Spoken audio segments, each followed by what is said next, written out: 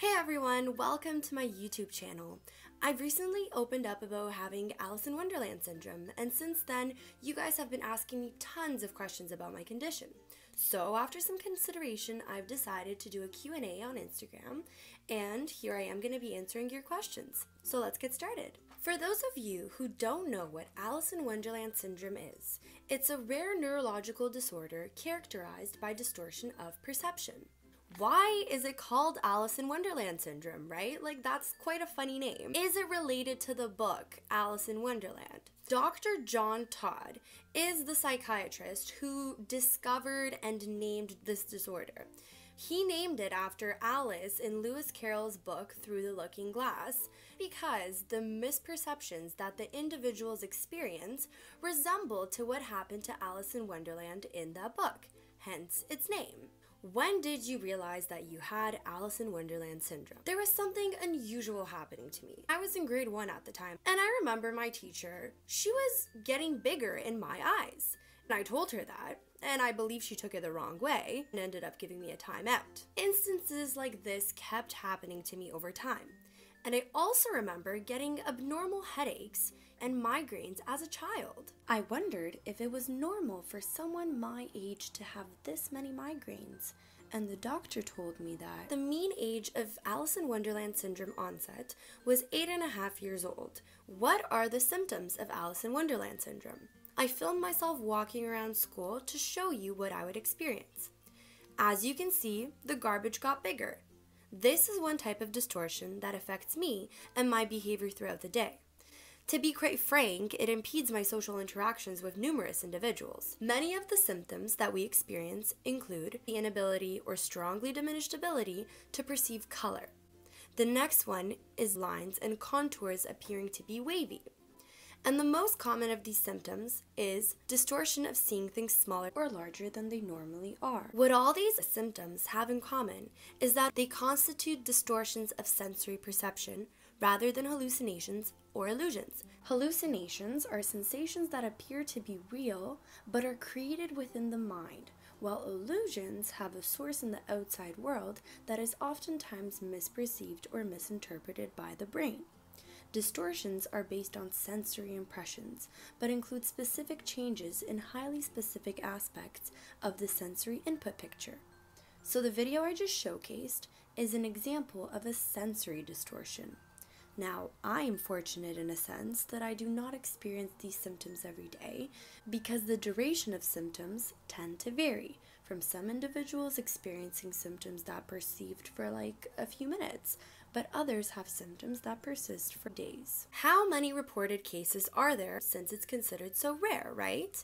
Unfortunately, the prevalence of Alice in Wonderland syndrome is unknown. So, personally, I do not know how many individuals in the world are affected by this disorder. One of the reasons is that there are not many studies that are conducted on a large scale for this, and the diagnostic criteria lacks consensus amongst the medical community. Major classifications, such as the Diagnostic and Statistical Manual of Mental Disorders, does not list AIWS as a diagnostic criteria, whereas the International Classification of Diseases and the American Psychiatric Association does pay attention to it.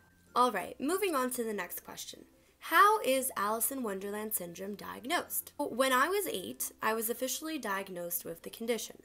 The differential diagnosis of Alice in Wonderland syndrome and its individual symptoms is complex. It can be easily misdiagnosed. Not only do the symptoms need to be differentiated from other positive disorders of perception, such as, like I mentioned, hallucinations and illusions, but a variety of conditions, such as brain lesions and various fevers, need to be established and ruled out. Out of 166 patients, 22.9% of these individuals suffered from infectious diseases before being diagnosed with AIWS, and 21.7% of those individuals were less than 18 years of age. So, because of this finding, my doctor suggested I get an MRI to see if there were infectious diseases that could be responsible for the symptoms I presented with and through this MRI, they then found I had a brain inflammation. Is AIWS related in any way to schizophrenia? My family was initially confused by this question as well. Even though schizophrenia and other psychiatric disorders have been reported in AIWS etiology and literature, a study done by Blom had concluded that AIWS symptoms have both different diagnostic and therapeutic consequences than those in schizophrenia spectrum disorders and other hallucinatory syndromes. Furthermore, AIWS is characterized by perceptual disorders rather than hallucinations and illusions, as I mentioned earlier. Therefore, this needs to be distinguished from schizophrenia spectrum and other psychotic disorders. So, this may lead you guys to wonder are there any treatments for AIWS? And this is a great question, but there currently is no specific treatment plan. Doctors will give you treatments based on your symptoms. My doctor told my family that in one study, 54 patients were given specific pharmacologic treatments to alleviate their underlying conditions. There were cases in which patients were recommended to undergo brain stimulation therapy. One patient received electroconvulsive treatment, but this is just a brief stimulation of the brain electrically. Another patient received repetitive transcranial magnetic stimulation.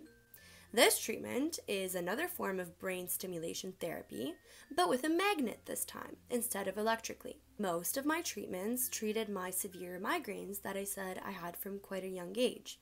I had to follow a migraine diet regimen for my relief.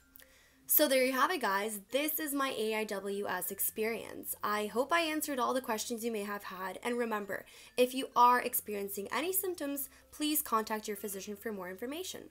I hope you enjoyed the video and see you soon! This video was done in collaboration with Demystifying Medicine. Please subscribe to both accounts for more content.